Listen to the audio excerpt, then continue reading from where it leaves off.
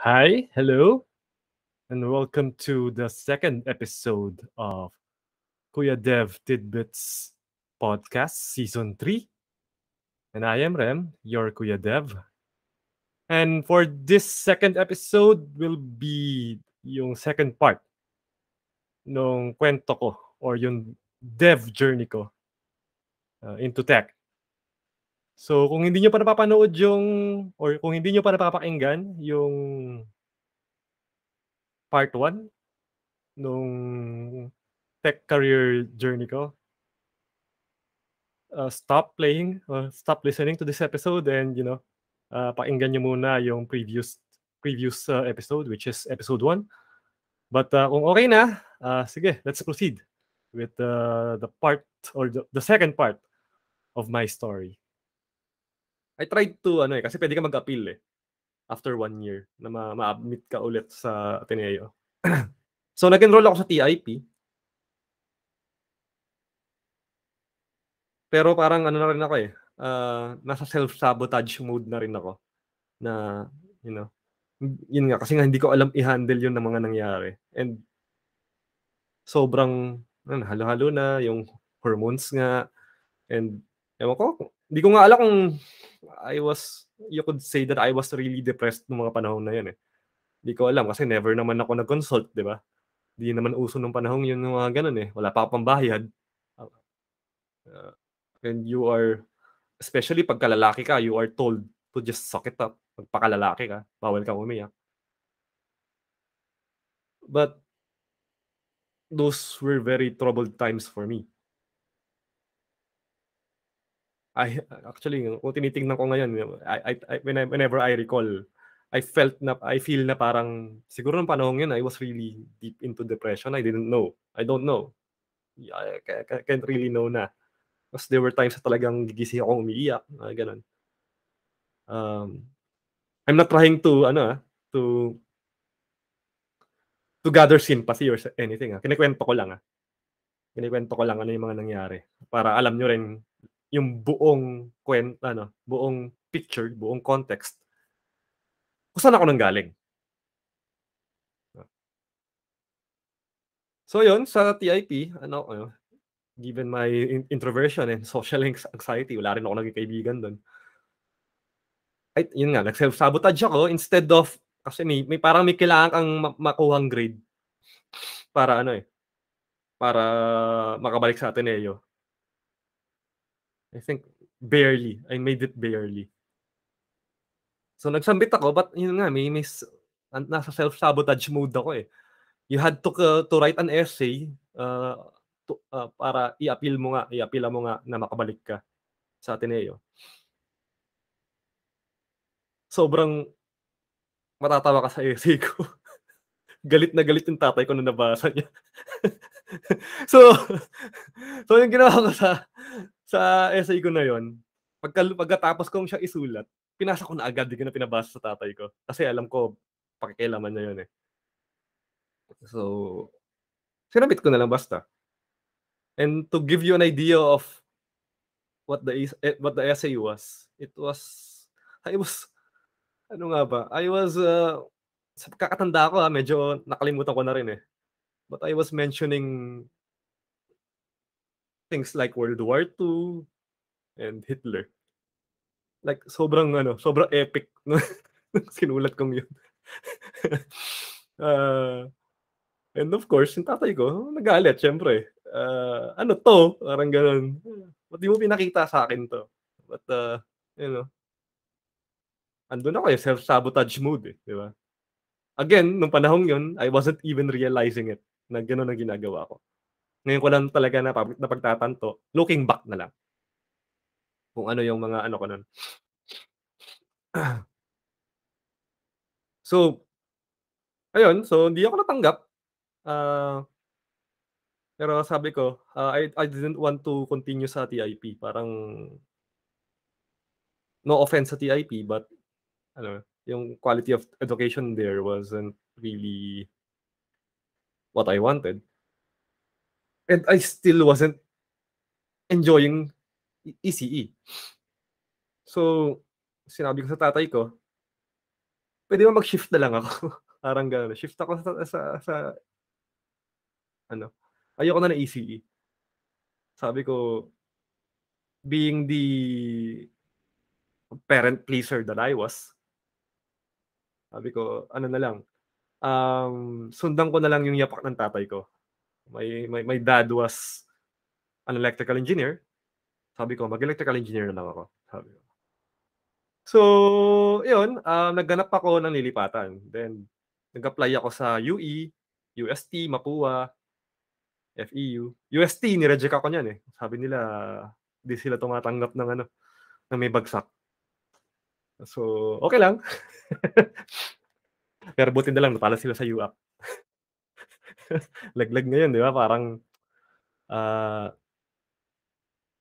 last place ba? So so yun, um pinili ko FE eh, FEU kasi nung panahong yun parang kaka kaka offer lang ulit nila ng electrical engineering.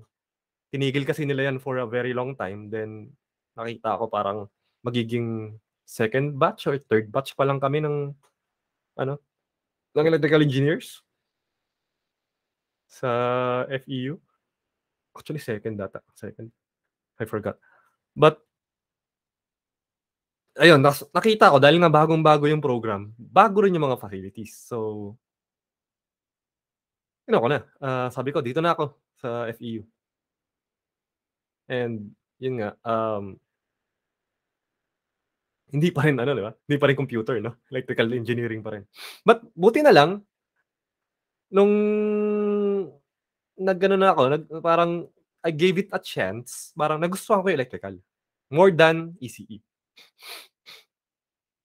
Ah, ewan ko, siguro mas gusto ko yung mas mata mas mataas yung boltahe, nakakamatay. Sabi sabi ko nga na dati parang ECE di naman nakakamatay pag humawak ka ng ano, parang gano'n. Joke lang, ah, sa mga ECE friends ko and, uh, ECE people. But gano'n yung joke na, hmm, mas gusto ko 'to kasi nakakamatay yung kuryente. Mas mataas, eh. Mas, ah, mas delikado. But yun nga, sobrang na-enjoy ko yung ano, yung electric electrical na actually parang nata natatawa nga ako dahil 'di ba binagsak ko binagsak ko sa Ateneo is Circuits 1. Pero nung tinuro siya sa FEU, ba't ganito na pala kadali 'to, parang gano'n. Kasi na-gets ko agad, na-gets ko kasi ewan ko binigyan ko na siya ng panahon or I don't know, I I Di ko alam ano ano na ano na pumasok sa isip ko nun, eh. But I got to enjoy it, eh. Parang nag-click sa'kin, ay ganito lang pala 'to. Then, nagkaroon na ako ng computer programming ano, class. Um, tapos sa first day pa lang sina sinabi nung prof namin na magkakaroon kami ng pro computer programming sub ah, subject, ah, project. Kami daw bahala gumawa. Sa-submit by the end of the sem. Ay, trimester pala. By the end of the trimes trimester kasi trimestral sa ano, eh, sa FEU, eh. So, sabi ko nung bin nung sinabi sa'kin yun or nung nung in-announce sa class yun, parang naisip ko agad yung yung project na pinagawa sa'min nung prof ko sa Ateneo. Sabi ko, "Hmm, gawin ko kaya 'to? Try ko kayang gawin." And mind you, group project siya, group project siya. So, I was with ah, a couple more students.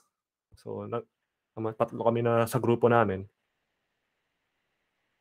Pero right before ako umuwi, punta ako Recto. Ta's naghanap ako ng ano, naghanap ako ng second hand na Turbo C, actually C, C programming na libro. Turbo C yung hinahanap ko, eh, ah, Borland Turbo C, hindi nga C lang, eh.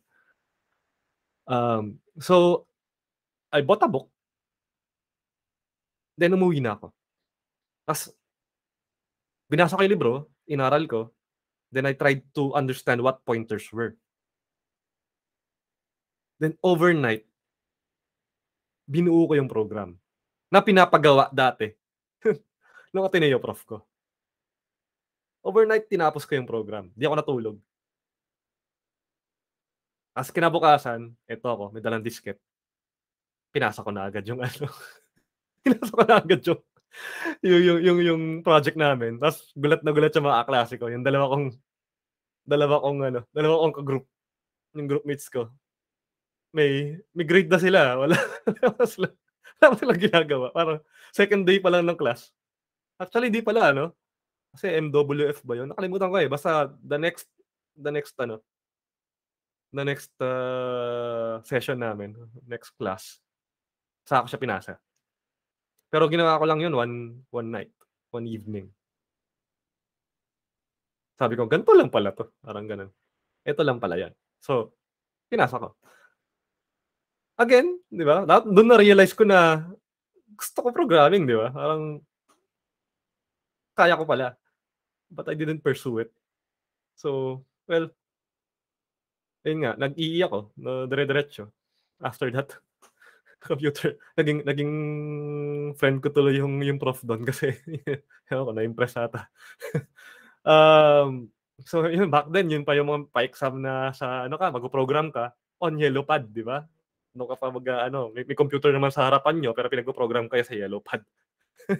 Sobrang absurd. But, uh, you know, ah, gano'n yung ka kalakaran nun, eh. Na apparently hanggang ngayon gano'n pa rin. Grabe 2022 na, 'di ba? Yung ibang yung ibang yung ibang schools gano'n pa rin magpa magturo ng ano, magturo ng programming. Medyo nakakatawa lang. But back then, maintindihan mo naman back then kasi 'di ba, ah, hindi pa rin nag hindi pa nagpo-progress yung ano, eh, way of teaching, eh. Pero sana ngayon nag-progress naman na, 'di ba? But, ah, yun nga, tinuloy ko lang EE. Then hanggang gumraduate ako, nag, ah ah, nag, ah, but good thing naman sa mga gano'n na ano, sa mga sa mga sa wag naman sa wag naman nating sabihing lower tier. But, you know, ah, medyo lower sa mga katulad ng Ateneo, lower level lang mga katulad ng Ateneo. Dun naman I felt that I belonged, na dami ko naging kaibigan dun. Na hanggang ngayon kaibigan ko pa rin, lifelong friends. And walang pressure to perform, na ano I didn't have to exert exert much effort to to achieve my grades. Yun, achieve de decent grades. Actually, above average pa yung nagiging grades ko dun. Hindi ko di ako nagyayabang, ah, medyo ano lang, ah, yun lang talaga yung nangyayari. Siguro I I I understand things faster than ah, most people. Pero wala pa rin ako sa kalingkingan ng mga na na naging kaklase ko sa Ateneo. Sobrang solid sila, mga mga Pisay, grabe. Parang ma mababalitaan mo hindi naman sila nag-aral pero 'di ba, i iaalas nila yung yung exam, parang gano'n. And, you know, sobrang nakaka-intimidate. Sa sa FEU, once I I I didn't feel that sense of intimidation or sense of inferiority, and once I felt na I belong to that ano, to that community and to that set of friends ay, you know, um okey, okey sobra yung naging experience ko sa FEU. So yun, ah, gumraduate ako, um, after ano ba, 6 years ng college. Graduate ako electrical engineering na. And I took the boards. Ginugusto pa nga nila ako mag-top, but it wasn't something na I was really aspiring for. Basta makapasa lang okey na sa'kin, hindi ko siya I didn't I don't aspire for those things, eh, yung yung prestige. Ah, I found them ano, very trivial or ewan ko. Mula nung mula nung ano, eh, mula nung nag na na-kick out ako ng Ateneo parang nagbago yung bago yung pananaw ko sa mga ganyan, eh. I didn't, ah, I didn't ano na, aspire for those things. Mas gusto ko na tumutulong sa iba or, you know, nag-e-enjoy kasama yung mga kaibigan ko. So, yun nga, I passed the boards. Hindi naman yung ano, sakto lang, saktong sakto lang yung grades ko. Then I worked for Meralco na as an electrical engineer. And nung umpisa masaya kasi I felt that I was ano, I was making a difference lalo na pagka bagyuhan, ah, tumu parang ramdam na ramdam mo na tumutulong ka sa mga tao.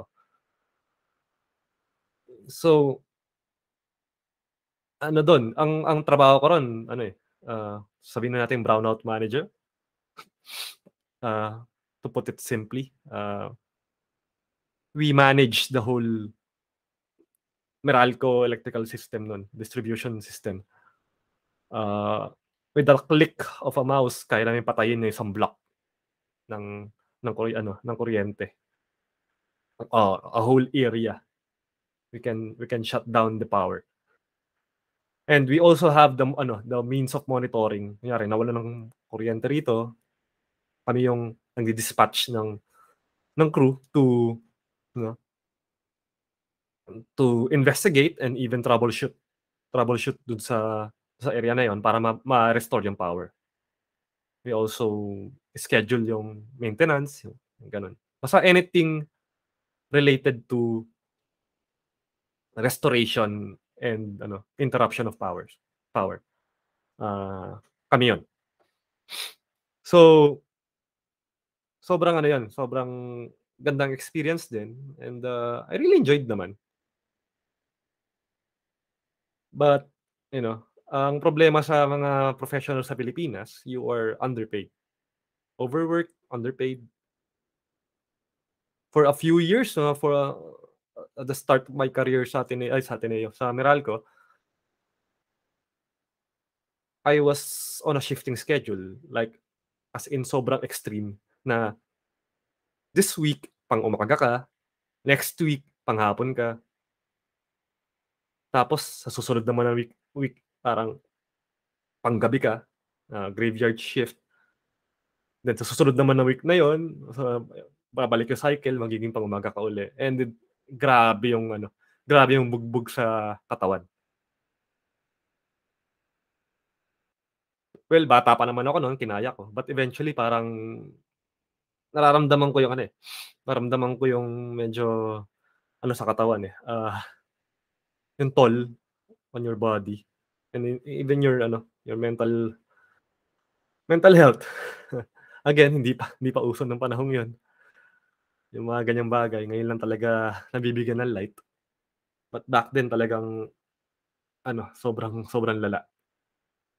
Of course, tapos ano pa, um, corporate pa. So, you know, yung mga gano'ng yung kulturang gano'n na I didn't really like. Na tawag dito yung may merit system pa. Actually pagka magpapa-promote sila, ah, parang every year every year puwede kang i-promote, eh. You you just have to submit ano, ah, may requirements sila na kailangan mong fill-up-an, siyempre ilagay mo dun yung mga incidents, lalagay mo yung mga ano, para justification para ma-promote ka. Tamad na tamad akong gawin yun. Tabs ang nasa isip ko basta nagkatrabaho ako, okey na.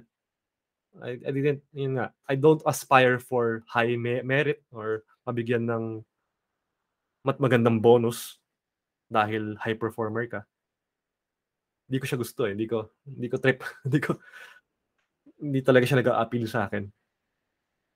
So, may mga times nga na parang yung mga senior ko na yung gumagawa nung ano ko, nung paper ko para sa'kin, para lang may ma-submit, para lang ma ma-promote na ako. Kasi ayoko talaga, eh, hindi naman sa ayoko, parang nakakatamad siyang gawin kasi hindi hindi siya motivating for me. And, ah, nakikita ko kasi parang yung mga tao away nag-aaway-away. Siyempre pataasan ng ano yan, eh. Kailangan sino yung pinakamaingay, siya yung mabibigyan ng mataas na ano, taas na merit kasi ikaw yung kita, ikaw yung nakikita nilang, ah, sabihin nating ano, let's not mince words, na parang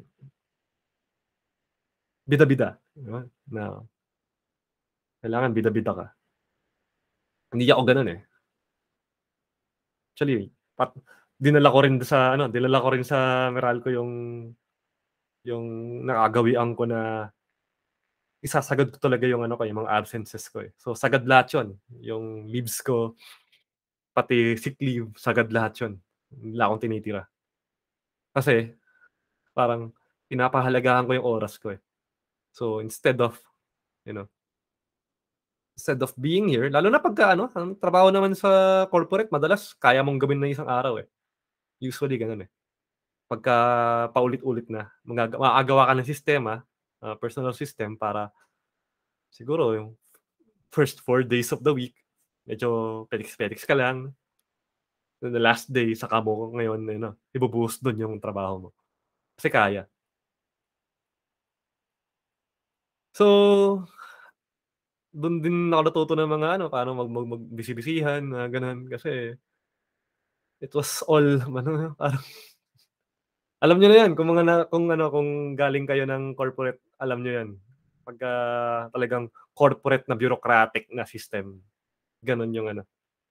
And, ah, I was ano kinain ako ng sistemang 'yun. But I didn't really ano, 'di lang ako nakipag-ano, nakikipag, ah, ah, nakikigulo dun sa pag-aaway sa merit rating, mga gano'n. But yeah, then towards the end of my ano, ah, career in Mera Meralco parang nagkaroon ako ng ano, eh, um, quarter life crisis na parang nagsasawa na ako sa trabaho ko.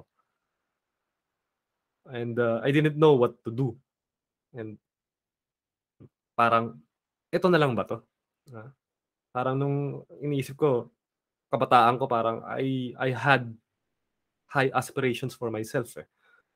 Na I wanted to be a person of, you know, relatively high impact. Hindi naman 'yung tipong, so malaking-malaking impact, 'yung parang may mga natutulungan ako, may mga nai nai-inspire ako. And I wasn't doing that sa Meralco as an engineer. I wasn't really being fulfilled na. There were ano, eh, there were times na medyo na ano pa ako, na na-excite pa ako. Kunwari parang nung may isang time na pinagawan ako ng program, actually hindi naman, nagkus nagkusa lang ako to create a program para padaliin 'yung ano, padaliin 'yung isang process namin. Using ano lang, Excel lang and, ah ano ba 'yung isa? Excel and Visual Basic. So I created a spreadsheet to to na puwede mong pasukan ng large amounts of data, then siya na 'yung bahala mag-compute at saka mag-collate. Parang data science nga, eh, 'no. But, ah, 'yun, 'yun 'yung ginagawa niya. Um ah, naka natatandaan ko na para para saan siya, ah, scheduler siya ng ano, eh, scheduler siya ng load dropping. Oh, nung mga panahong medyo kulang tayo sa energy, 'yun 'yung ginagamit namin. Taga-schedule siya ng ano, ng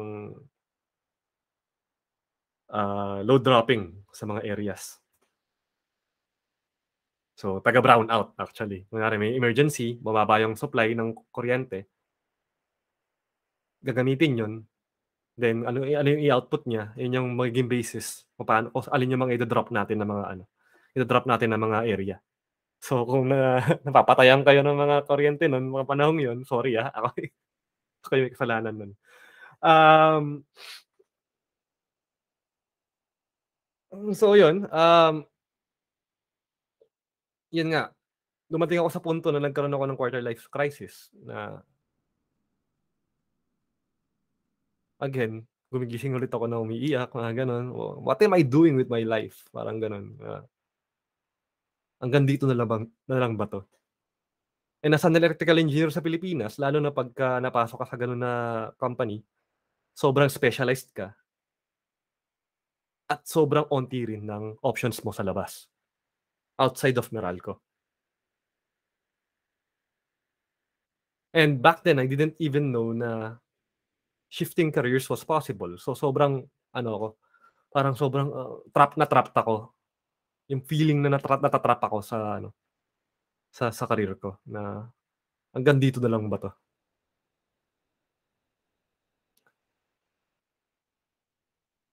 So, 'yun din 'yung panahon na ano buti na lang Yun yung panahon na parang nag-boom yung startup world sa US. Biglang naglabasan yang mga yan. Facebook. Ano ba yung mga panahon yun? Facebook, Instagram, Airbnb, Netflix. Naglabasan yan. Tapos lahat tech. So sabi ko, um, paano kaya kung mag-aral ako mag-code ng seryoso na? Seryosohin ko na 'to. Not to change careers. Kasi ang dun di ko pa rin alam na posible 'yun. Akala ko pa rin nun pagka gusto mo maging kong programmer, gusto mo maging web developer, kailangan graduate ka ng computer science or IT or computer program or computer engineering or whatever. I didn't know na pwede palang mag-shift ng careers. So, yung motivation ko nun is mag-aaral ako mag-code para bumuo ng app. At siguro, you know, baka makabuo ako ng startup. So, bumili na naman ako ng mga libro, Objective C, Java kung ano-ano pa. So aral-aral lang ganyan, aral-aral. Then eventually, through research kasi hindi lang siyempre hindi ka pa lang hindi ka, hindi ka lang magre-rely sa libro. You you'd still have to research in Google. So through my research, I stumbled upon Free Code Camp. To be continued next episode.